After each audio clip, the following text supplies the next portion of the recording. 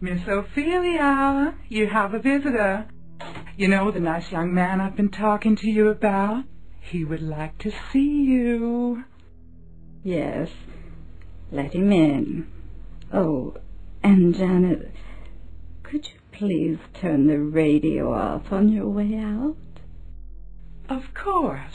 The radio. She doesn't even have a radio. You see what I mean?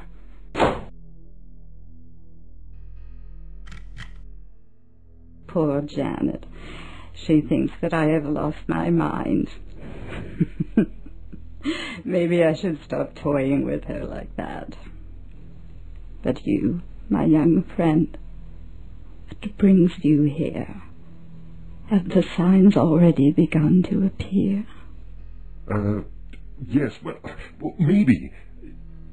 I'm not sure that I really understand what's happening. But this is all so astonishing. I was hoping you could help me find the truth.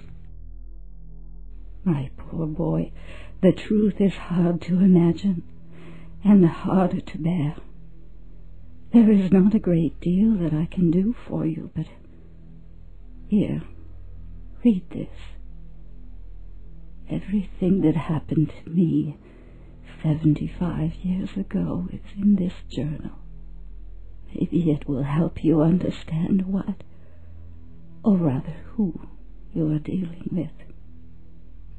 The rest is up to you. You'll have to make choices.